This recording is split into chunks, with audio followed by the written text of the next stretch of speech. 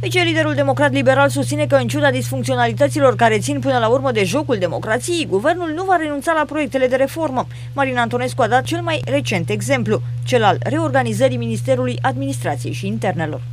Democrația, da, e frumoasă. Da, este frumoasă, lumea nu se plictisește.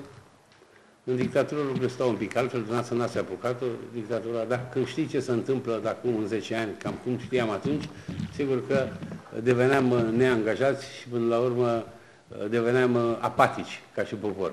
În, în, dicta, în democrație lucrurile se întâmplă altfel, uite, vine un băiat și îți împiedică o lege sau mai mulți băieți care în momentul așa gândesc, se mai și răzgândesc.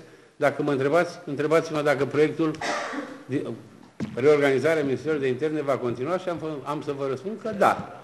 Am să vă răspund că da, se va continua. Așa cum se va continua reforma în toate domeniile, atâtea câte, în câte vom avea timp să facem reformă, cu toate aceste întâmplări fericite ale democrației.